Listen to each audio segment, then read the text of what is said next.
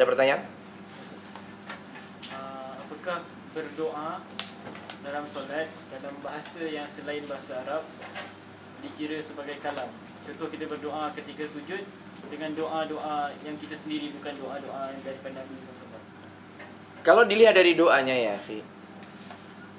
Doa bukan kalam. Doa adalah doa. Tapi permasalahan bahasa ini permasalahan yang lain. Dan dalam hal ini anak jawaban anak wallah. Namun sebagaimana yang eh, kita dapatkan dari Nabi SAW bahwa doa-doa yang beliau ucapkan ketika sholat adalah menggunakan bahasa Arab. Maka diupayakan seluruh doa-doa tersebut imma diambil dari Al-Quran ataupun Sunnah. Dan hendaknya tidak menggunakan doa-doa sendiri sekalipun dengan bahasa Arab. Sebab mungkin terjadi kesalahan di dalam doa ya.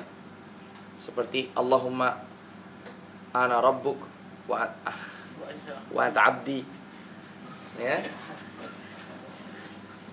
Salah dia mungkin kalau dia sengaja tentu akan membatalkan sholat. Batal imannya juga. ya. Nah, artinya Allahumma an- anta abdi wa ana rabbuk. Ya Allah, engkau adalah hambaku dan aku adalah Tuhanmu. Ya. Ini fatal kesalahan. Karenanya hendaklah menggunakan doa-doa yang mathur yang diriwayatkan dari Nabi Shallallahu Alaihi Wasallam atau yang ada dalam Al-Quran. Allah Taala. Ada pertanyaan